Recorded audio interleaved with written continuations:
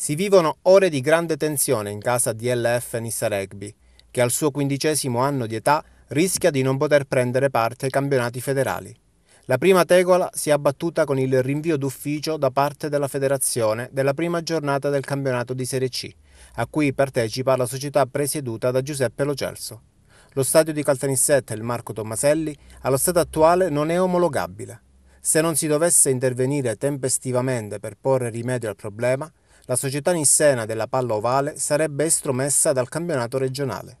Una situazione incresciosa quella del Tomaselli se non dovesse essere sanata e se la DLF Nissa Rugby dovrebbe rinunciare completamente all'attività che sembra attualmente non avere una fine.